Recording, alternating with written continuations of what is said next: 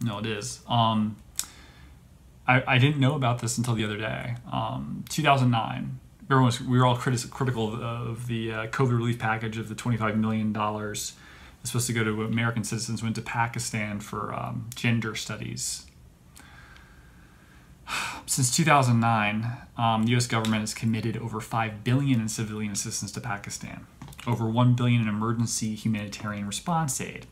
During Pakistan's 2019-2020 fiscal year, the United States gave the 25 million, uh, again, uh, based on um, gender studies programs that are and so forth in their school system. Uh, what I want to talk about is the rat children of Pakistan. Uh, the history behind these um, uh, deformed children, deformed on purpose for the sake of religious reciprocity.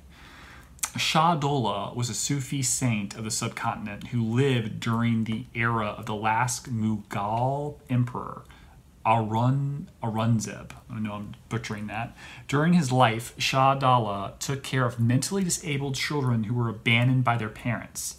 These children used to beg in order to earn their keep. These were mentally uh, disabled children naturally. Okay. It is said that Shah Dola could bless the childless couples with children who had uh, had the condition, but uh, who who were disabled under one condition that the couple would donate their literally their firstborn to his service. Blinded by desperation, parents started giving their firstborn children to him. His shrine is in the current day Guj- Gujarat city of Pakistan. Even after his death, childless couples keep coming to his shrine begging to bless him with children. The practice is still going, and people still abandon their firstborn children at this shrine. The administration of the shrine then puts a heavy iron cap on the children over their skull to stop the growth of the skull and the brain. It's it's it's it's uh, like intentional micro micro microphalangy, microalgae, microalgia, uh, in the terminology for it. But they're, they're, they're disabling these children on purpose to fulfill a rite of religious like history that came from nature, that was natural and a slightly more healthy, albeit indentured servitude of children with mental disabilities. the fact that that's better than what's happening now is crazy, especially in this modern era that we live in. But now they're disabling the children on purpose. And we're giving them aid.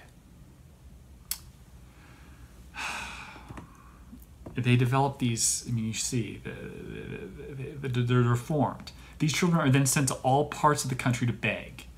The beggar mafia even hires them on a monthly contract basis, and they're given back to the shrine administration after the contract expires. These children and grown ups spend their lives begging. They don't have any family or life of their own, and due to the mental disabilities put upon them by adults in some superstitious bullshit with a cage over their fucking head. That's disgusting. Um, they're they can't they can't do anything. They have to depend on other people. It's been going on for centuries. In the 1960s, the government of Pakistan uh, took control and banned people from leaving their newborn babies at the shrine. Wow, the 1960s. But due to unstable political conditions, this is still ongoing, and uh, tradition was given back to the administration or the mafia that abuses children for the sake of cash flow. No efforts were made to ban this practice. Uh, the whole thing is still working because common citizens never refuse to give money to the rats of Shah Dola. It is strongly believed that if you refuse them, your children will be handicapped. so, for the begging mafia, these poor souls are a guarantee of regular income. But if you give a child to them by will, by definition, you are handicapping a child. If you refuse to give money to the handicapping your children, it will stop the children being handicapped. I would rather that happen than and run the risk of my child through hocus pocus being disabled knowing that the child that you're not refusing to give money to was disabled on purpose, that doesn't. I'm appalled that we give them money. Anyone like that, I don't fuck moral relativism. It, it's it's absolutely disgusting. My, micro microcephaly. This is this is a rare neurological disorder that happens naturally. They are making it happen on purpose. Not some like superficial neck stretching. This is like, I mean, based because it's happening to children specifically and at such a rate in this one particular area, it's so common. It's, it's I, I dare say it's worse than genital mutilation.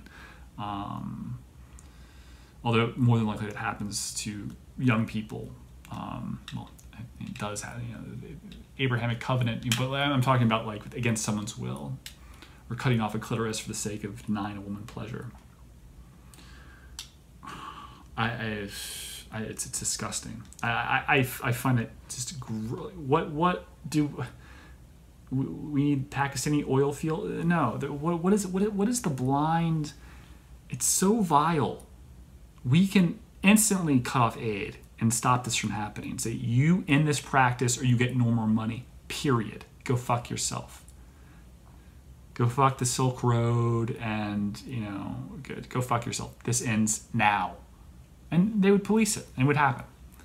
So um, for those watching, it's four o'clock, five o'clock in the morning now. So you know, it's not like I woke up at 10 a.m. 10 p.m. Excuse me. I've been up, and um, so I'm for sorry if I'm getting a little you know long in the in, the, uh, in my discursive rants, but um, in this regard, I think it's. I really do hope that you, if you if you're watching this, you, I don't know, donate money, uh, talk to your senator. I mean, it's fu- this is fucking disgusting. I, I can't believe this is happening. It's absolutely vile. Um, maybe Joe Rogan talk about his podcast. Maybe I'll, I'll, I'll at him on Twitter. It, it's absolutely disgusting. I, I, I, I'm going to have a hard time editing this part, adding the pictures. I, I don't want to right now. Maybe I'll try to sleep for a few hours. it's just awful. I, it's so odd. Like the burn, the burn victims are talking about the um, the ban on guns. What happens in other countries where stabbings and uh, acid attacks have increased due to um, the, the uh, lack of uh, guns in the um, in the public sphere because of like import export um, austerity measures, Australia and so forth. But like that was hard. Show oh man, it's